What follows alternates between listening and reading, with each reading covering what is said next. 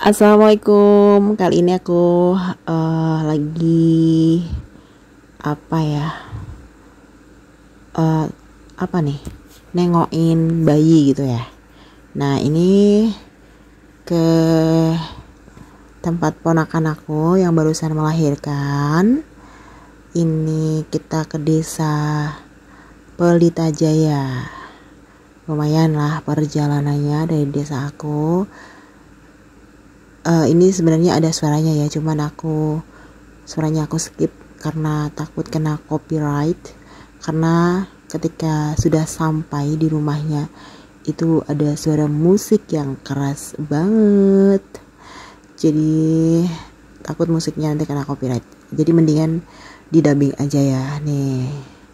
Kalau di kampung mah kayak gini ya kalau ada uh, apa namanya orang lahiran bikin tenda tuh ada banyak yang jualan. Nah ini anak aku yang bocil ini rewel nih.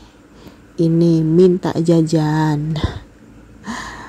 Minta mainan. Pokoknya belum masuk kita belum ke tuan rumahnya dia sudah harus beli jajan atau mainan. Nih ke sini belinya. Pas banget di pintu masuk. Nah sedihnya tuh ini semua tuh kebanyakan rata-rata yang dijual tuh permen tuh permen warna-warni yang nggak tahu aku ini kayaknya nggak ada iklannya tuh di TV sebagian. Dan ini harganya tuh mahal-mahal banget.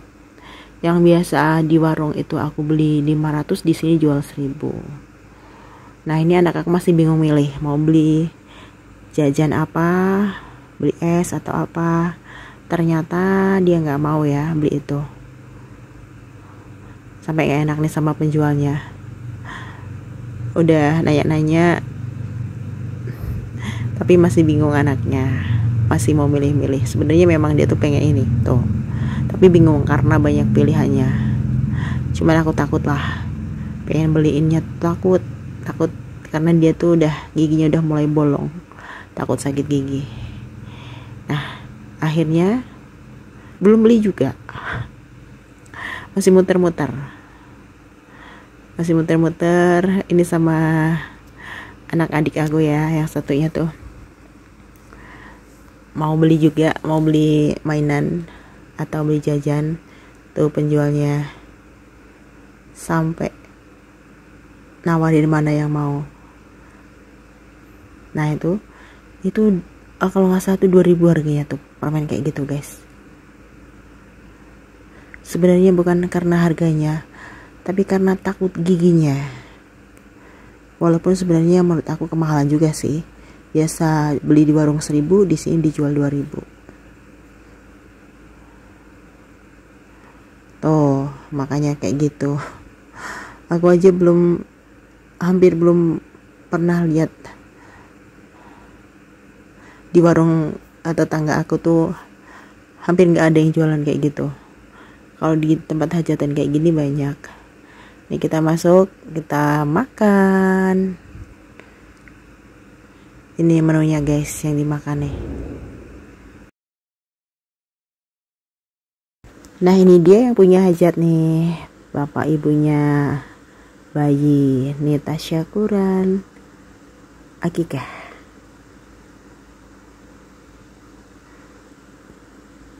sebenarnya bayinya tuh sudah umurnya hampir satu bulan. Tapi karena kemarin uh, mbah kakungnya meninggal dunia jadi kita nunggu untuk kepengurusan mbah kakung sampai selesai tujuh hari. Kemudian baru ganti. Ini uh, ini tuh lahirnya pas uh, bulan ramadan. Jadi pas puasa lebaran kurang satu minggu. Ini pada kumpul saudara-saudara aku yang perempuan. Yang laki-laki pada di luar kayaknya tuh. Keisha. Keisha. Ponakan. Alhamdulillah lagi pada ngumpul yang jauh-jauh juga datang. Jadi lumayan satu yang nggak bisa ngumpul karena harus sudah pulang karena mau menikahkan anaknya. Nah ini, aduh bayinya ada dua, satunya udah udah umurnya hampir tiga bulan. Ini anak adik aku yang hampir tiga bulan. Dan ini anak keponakan aku yang baru lahir umurnya hampir satu bulan. Sekarang mungkin udah satu bulan ya karena ini videonya tuh udah agak lama. Udah hampir satu minggu baru aku edit. Baru sempet ya. Maklum lah sok sibuk ini uh, yang adik aku ini datang dari bapak masih sakit itu nungguin bapak.